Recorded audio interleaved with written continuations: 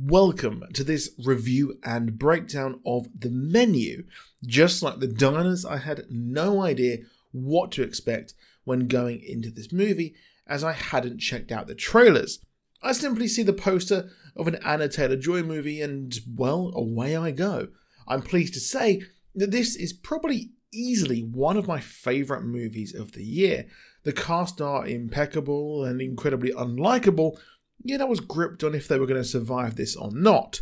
The movie unravels itself slowly as we work out the theme of the movie as it goes on, just as the diners uncover the theme of their menu, the pacing is just as exquisite as the mouthfeel, I imagine, of these dishes.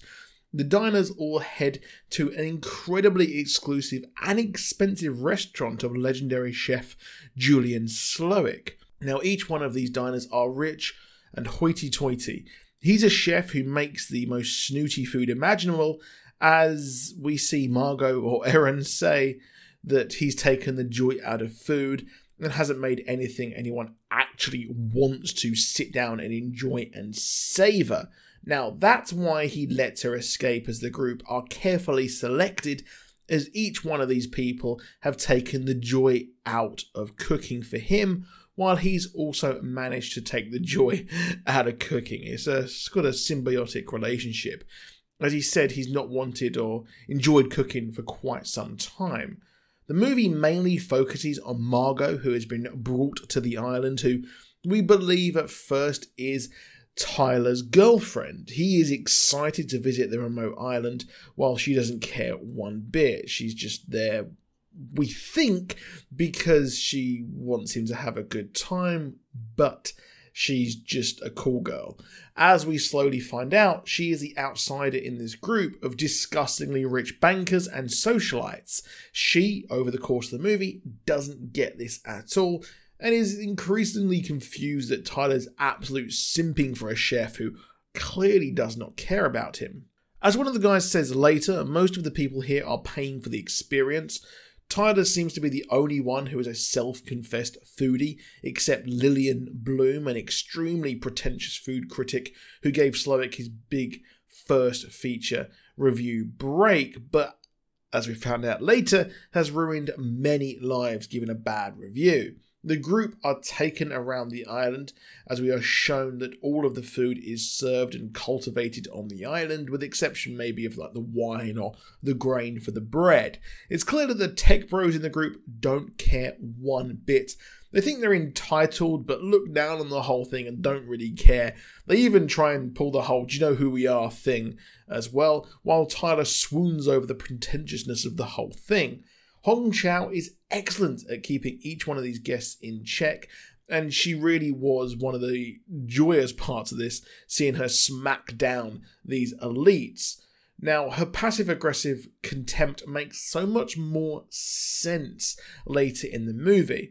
While in the dining room, the clues that Tyler is not truthful are laid. He just mentions that he's watched simply cooking shows and doesn't fit in, as he is asked not to take photos of the food, but he does.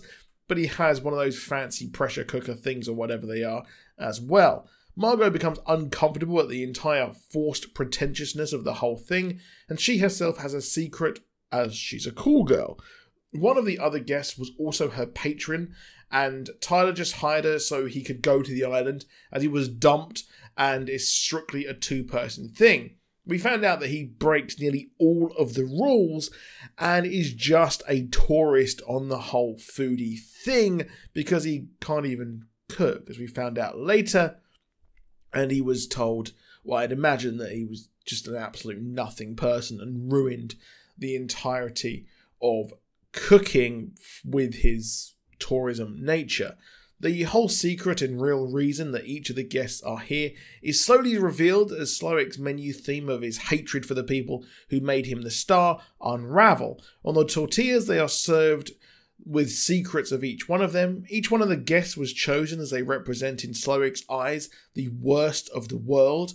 The tech bros have their whole wire fraud exposed, while other people, such as Margot's precious customer or previous customer, has his photo with her lasered on, they're all clues as to why each one of them have been chosen. Just like the menu, each one of these reveals are slowly and expertly paced, and I felt a sense of urgency. I was gripped, like, what the hell is going on? All the while absolutely enjoying the wild ride. The reveal that this is a deadly evening comes when the course named The Mess is revealed. Slowik introduces a sous chef who actually created this dish. The sous chef is berated for spending his whole life and humiliated for wanting to become the best chef like Slowik. However, he doesn't have the talent, as it's said, and he will never become more than what he is right now. He's made a mess of his life trying to pursue perfection.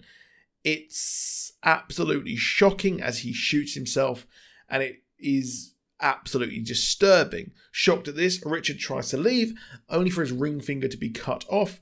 A sick insult for him trying to simply escape by calling a helicopter, saying that he can use his hands to do whatever he wants.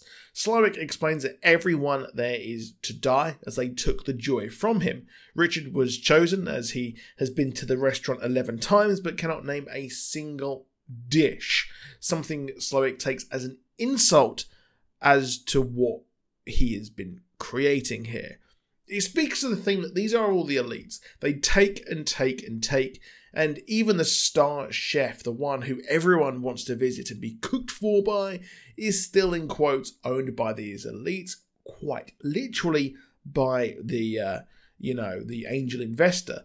Lillian is a pretentious person who has ruined countless lives by with the the restaurants being closed due to her negative reviews, she thinks she knows everything. As she mentions a uh, an emulsion, I think it was that was split, and she keeps getting mocked as they bring bigger and bigger plates of emulsion.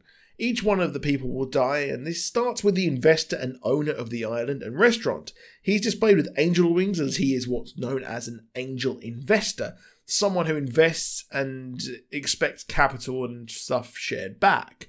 He's displayed with angel wings, showing this, and he's drowned in the ocean, freeing Slowik. I loved how his investors say that he got him through COVID, but it's true, but he demanded substitutions and changes, not respecting Slowik's vision and the reason why people want to be there.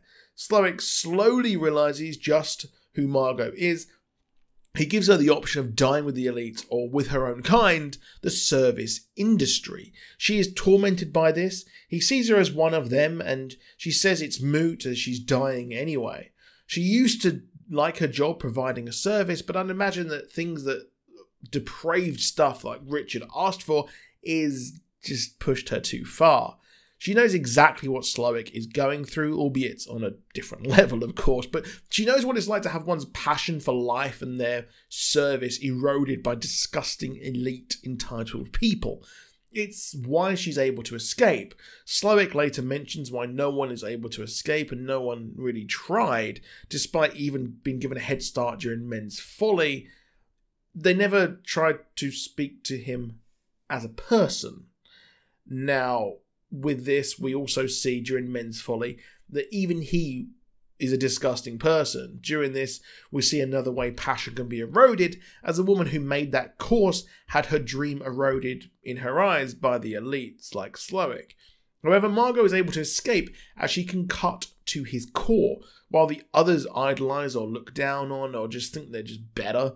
She sees him just as a person, it's a clue as to why she says how the sous chef knew Tyler's name, but he didn't bother to ask his.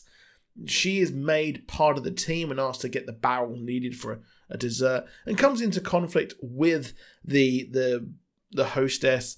And Margot in his house finds a mirror of the restaurant, and we learn what's behind the door that was said by the host as something special. It was the minimal living quarters and a radio. Margot sees some newspapers clippings chronicling his career. We learn how he rose from humble beginnings, learning to cook in the movie. But in the review and news clippings we see, we see him with no smile. He only smiles in the award for Employee of the Month at a burger restaurant. While the Coast Guard trick fails, we learn that the actor is only there because Slowik saw his movie on a rare day off and absolutely hated it. And the girl he's with went to Brown and has no actual kind of student loans or anything. So he's like, yeah, you're going to die, which did make me laugh. Margot or Erin tries something different. She says how she wants to return her food and humbles him. She says how she's hungry and wants a cheeseburger. Something simple, something which people love to eat. I mean, I, I love a cheeseburger, but well, she knows it's the last time he truly enjoyed making food. Everyone watches as he makes it, and he makes it with passion and delivers it to her just like his old small town restaurant. She's allowed to leave as she gave him just a semblance of his passion back. That's something she does as a cool girl. She makes people feel special. So she used her service against him. Chef's kiss. She leaves as the rest are killed and turned into s'mores, which I'm still not really sure what they are. I've never had one in the UK at all. But a masterpiece of a movie here. So let me know what you think down below. What's your take on the ending, as it is all subjective, of course. Please drop a like if you enjoyed the video, and do subscribe with notifications and if you want more from us, and I'll see you soon, goodbye.